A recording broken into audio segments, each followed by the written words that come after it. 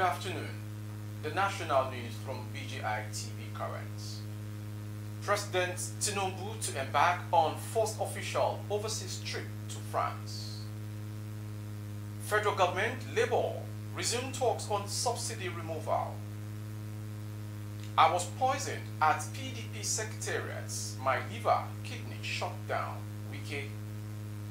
And on sport, Osimhen calls brace as Nigeria beats Sierra Leone. Now the news in detail.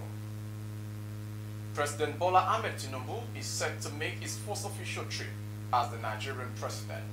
Information report that he will be attending the Global Financing Pact Summit in France next week.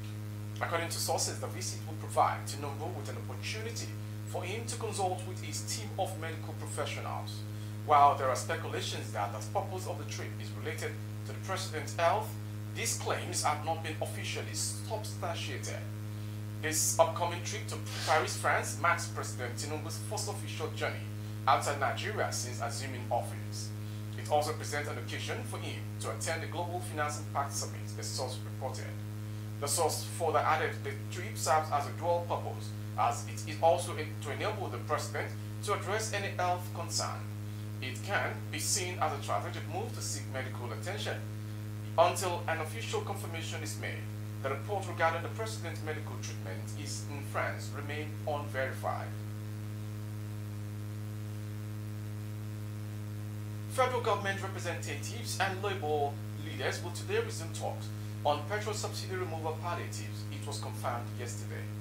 Both parties are expected to harmonize some of the demands put forward by the Nigerian Labour Congress NLC and Trade Union Congress TUC. According to the Permanent Secretary, Federal Ministry of Labour and Employment, Kachollom Daju, the parties will reconvene at the Presidential Villa, Abuja at 4 p.m. today. When contacted yesterday, the Permanent Secretary said, yes, the meeting will hold today at the Presidential Villa.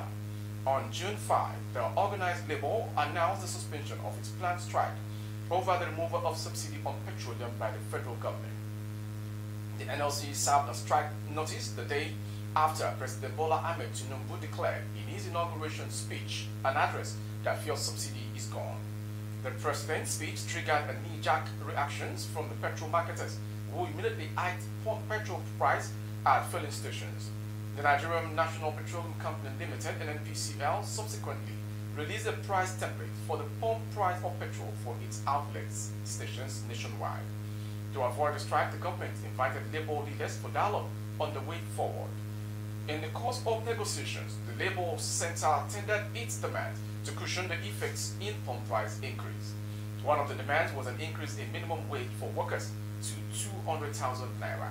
In response, the government team agreed to consider the demand put forward by the organized labor. Both sides agreed to resume talks on the demands this week.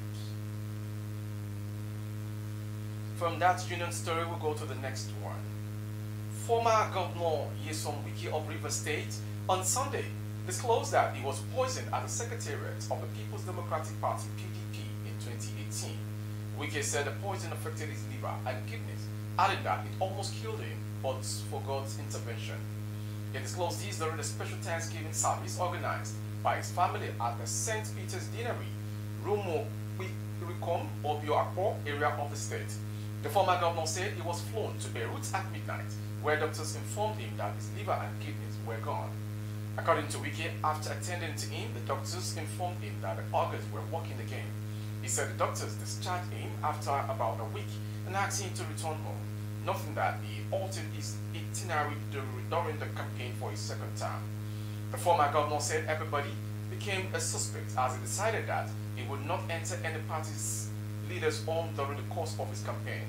Narrating how he almost died of poisoning, Wike said God was in charge. Everybody who knew how we came to in power in 2015 knew it was turbulent.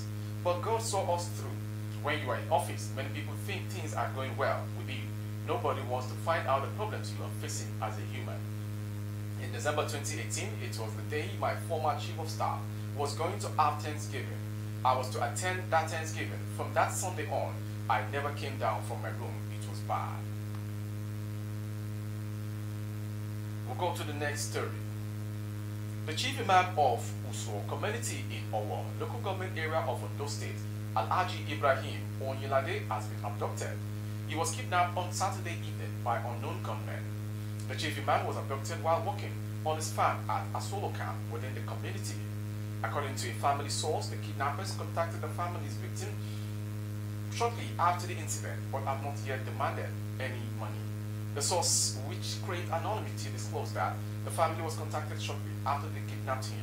They told the family that he was with them, but they didn't demand any money yet.